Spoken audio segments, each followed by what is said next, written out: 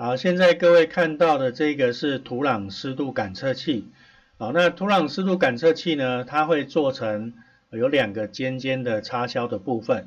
那所以这个板子呢，是让你把这一块啊这个部分把它插到那个花盆的土壤里面，它就可以侦测水呃土壤里面的水分，它的湿度。那它会把湿度的讯号呢转换成讯号，从 S signal 这一只接角传到 Arduino 上面。好，那所以它的三只脚呢，也使用的方法也是很简单啊。V 跟 G 呢，一样是负责啊板这个模组的供电啊，然后 S 就是把讯号传出去，传到板呃传入到 Arduino 身上的一个接角啊。那另外一个厂牌呢，哎标示虽然不一样哈，但是也是一样哈，减号就是 G 啊，就是 GND 接地，那加号呢就是 VCC 正五伏特。所以这两个一样是供电角，那这个 signal 呢就是讯号角啊，所以啊它是属于类比输入啊类比输入的一个感测器模组。那它的接法一样是 GVS 啊，所以你就按照 GVS 中红橘啊中红橘的颜色呢，把它接到。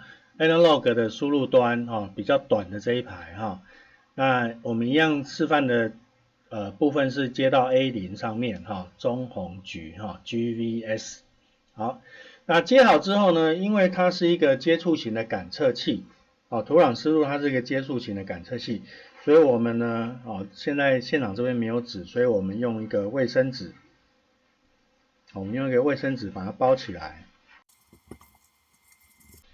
哦，等一下可以加水了哈。好，那我们把环境准备好之后，我们来看一下程式哈。啊，类比输入的呃检测的程式呢，哈，其实都一样了哈，都一样。那我们一样是先启用类比角位，啊，启用类比角位的第零只角，我刚刚接在 A 零哈，那当做输入。那接下来呢，我就去读取类比角位的值，哈，读取类比角位的值，然后把它放在小猫的外观的缩里面，然后每零点一秒做一次侦测，啊，这样子就是我们基本的检测程式。那基本上类比的检测呃模组的程式呢，大概都是这样子就可以了。好，那当我们 action 之后，我们来看一下实际的状况。好，现在我把刚刚包好卫生纸的这个土壤湿度感测器哈，把它拿到啊，把我们现在正在检测中哈，程式已经开始 run 了。那所以我现在呢，把它加点水啊，我从这个尾端哈，卫生纸上面我加点水，好，你会发现数字就突然就变大了，跑到一百多、两百多啊，越来越多哈，那我再加多加一点。好，跑到三百多、四百、三百多了哈。啊，所以你当呃湿度越大的时候呢，啊，你会发现它的那个数字就会越大。啊，湿度越大，数字越大。我再加一点。好，爬到四百多。啊，四百多。好，再加一些。啊，就差不多到四百多哈。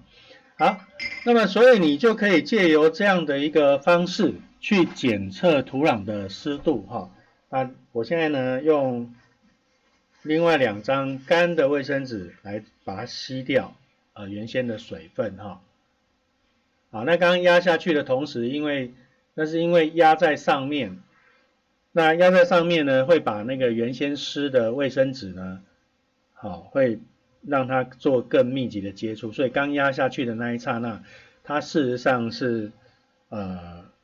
数字会变大的哈，好，那看我们把水往后往下吸哈，啊，你看到它数字会慢慢的降低，慢慢的降低哈，因为水分慢慢被吸走了哈，但是不会那么快哈。好，那所以借由这两个插销的部分，我们就可以了解说，哎，这个当它接触土壤的时候，那个湿度啊是可以。呃，让它有感测的数字会不同的呈现哈。那我们现在把卫生纸拿掉，我把它擦一下。哦，擦拭一下。那现在数字是零嘛哈，那你会发现一件事哈，当我用手去碰，它其实是会有数字，对不对？好，它会有数字，所以其实它也可以拿来当做接触啊，触摸感测器啊，触摸感测器。那你只有碰一边呢，也是会有了哈。好，所以你可以拿来当当做类似 Makey Makey 的一个触摸感测器哈。